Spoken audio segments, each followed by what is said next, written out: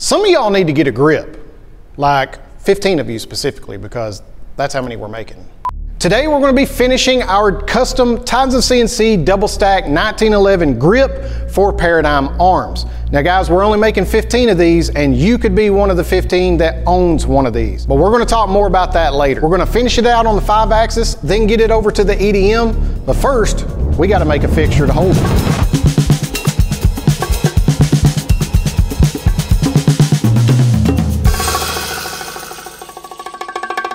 All right guys, so just like in our last video, I'm gonna go through step by step of what we're gonna do in this operation. You see the fixture that we've made.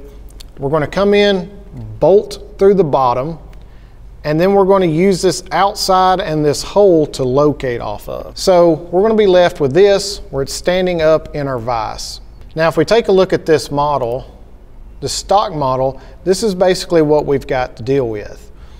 So we've got the bulk of the material out, but we still need to get rid of the rest of it. So the first thing I'm going to do is come in with a 3 8 end mill and I'm going to rest rough that material away.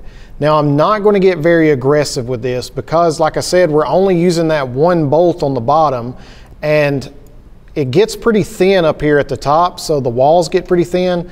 So the last thing I want to do is start flexing this part or start you know, roughing it so hard that I'm, I'm pushing it away and I don't want to damage the part. So we're going to get a little bit conservative with our feeds and speeds and step over on this.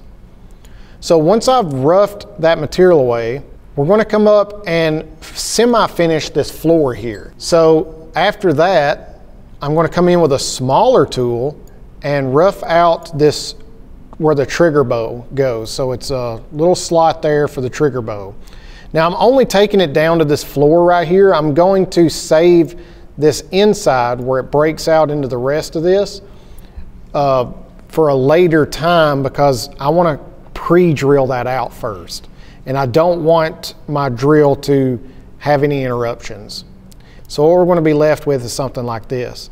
As you can see, the bulk of the material has been taken out all on the inside, and we've got this slot taken care of down to that floor. So after that, I want to start the work on my holes. So I'm going to come in with that same tool that I did the trigger bow with, and I'm going to just helical mill this, this hole out. There's no sense in really drilling it at this point because it's so thin. Uh, then I'm going to step down here and where the mag release pin goes, I'm not going to helical bore all the way down yet. I'm going to drill that out to get the bulk of that material out, but I do need a flat for my drill to start. So I'm going to come in and just helical bore a flat. Then I can come in on the other side and do the same thing.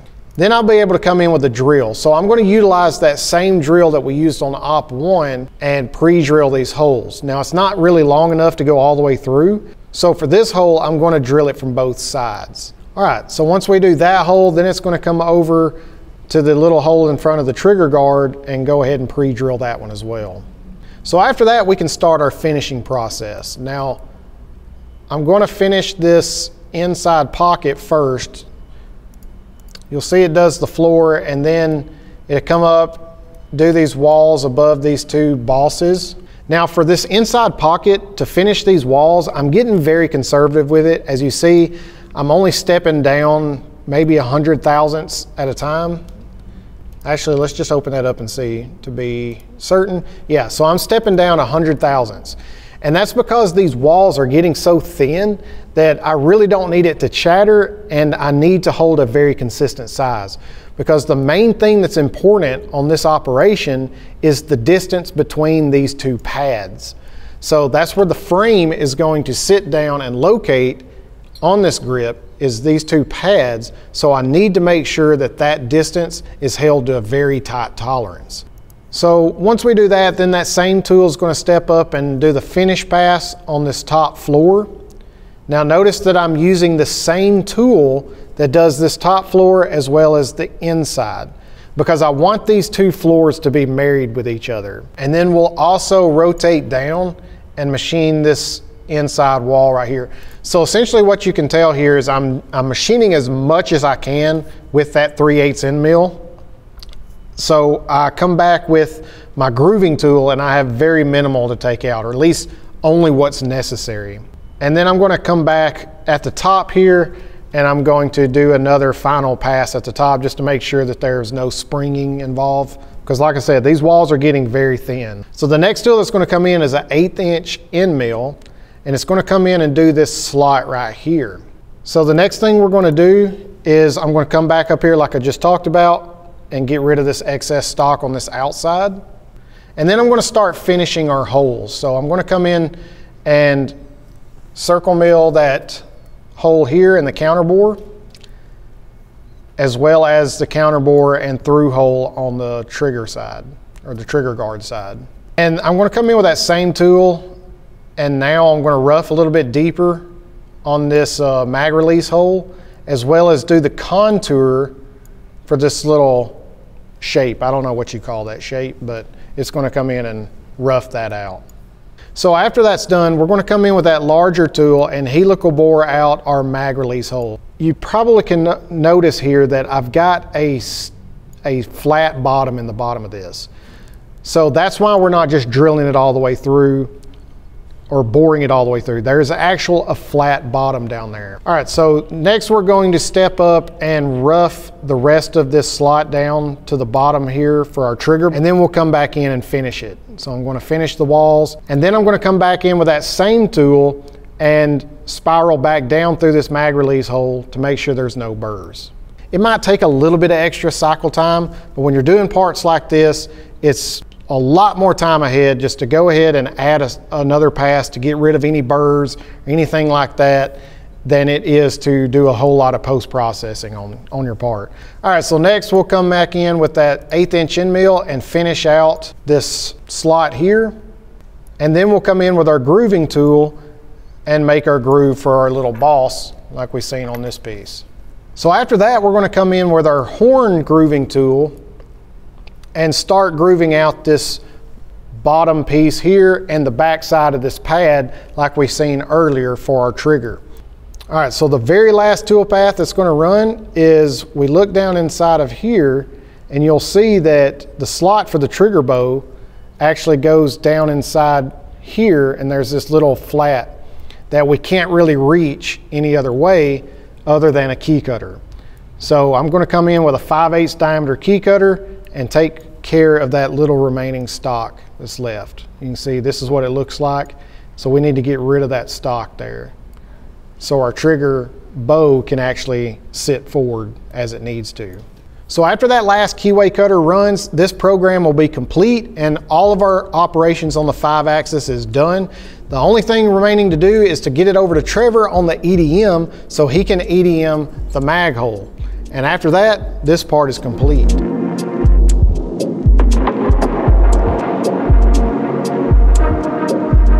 Like I said earlier in the video, you can actually purchase this grip.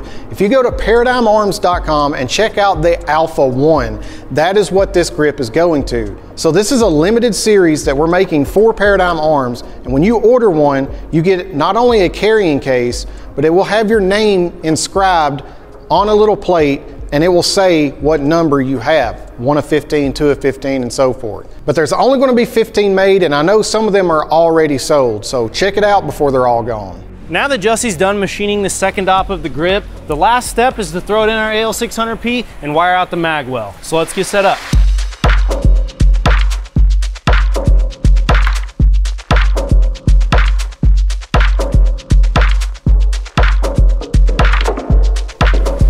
Previous video, we covered our retractable Renishaw probe in depth. And we talked about how it gives us the ability to pick up on features that we can't using our wire. And this is a good example of that. We already picked up on the hole in our fixture with our wire, but now we're gonna take our probe and use it to get a reference measurement on the inside of our grip so that we can verify our Y location is correct.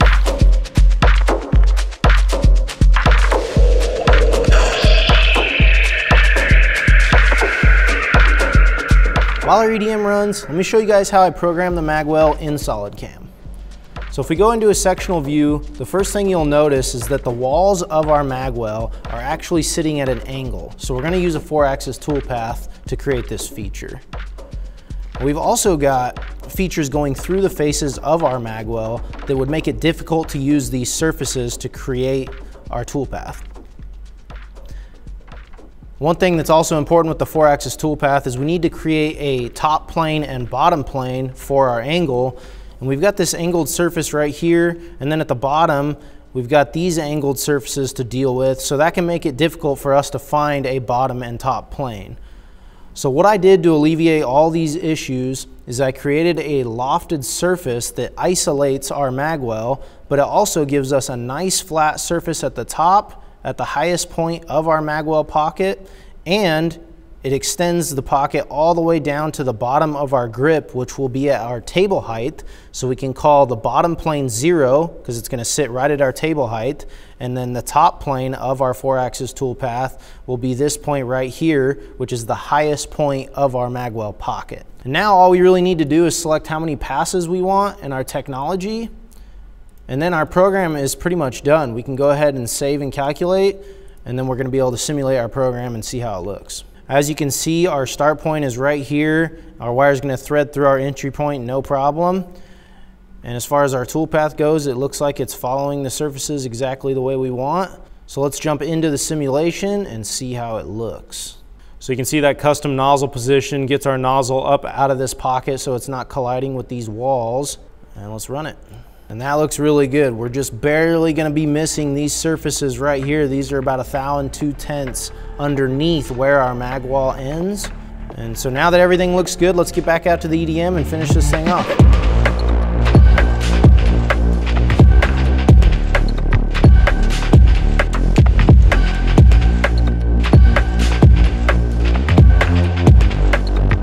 All right, so I just got these from the EDM and technically they're finished, but I'm gonna go ahead and tumble them in ceramic to get rid of the feed lines and get rid of some of these burrs left behind from all the sharp corners. So like I said in the previous video, it looks a lot cleaner when everything is sharp, but to get rid of those burrs, we're just gonna tumble them real quick.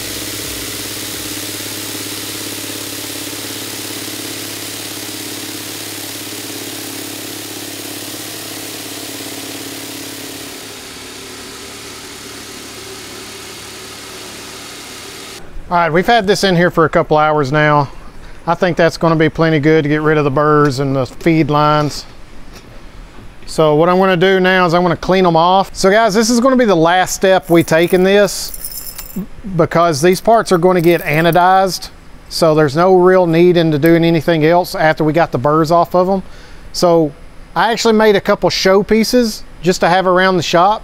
So what I'm gonna do now is I'm gonna take this, clean it off, and I'm gonna change our media out to walnut shell. Now typically you're not gonna do walnut shell because there's no sense in shining it up when it's just gonna get bead blasted and then hard anodized. But we're gonna do that just for a couple show pieces to make it nice and beautiful.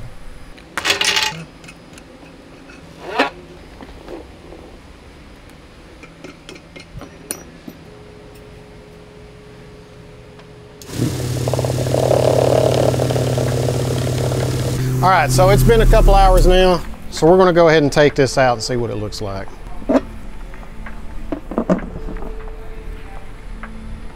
All right, so that is it complete. Now it's got a little film on here from the walnut shell, so we're gonna go get it washed off and uh, get them sent out to James so he can get it built out. So make sure you check that out with the Titans Alpha 1 at ParadigmArms.com.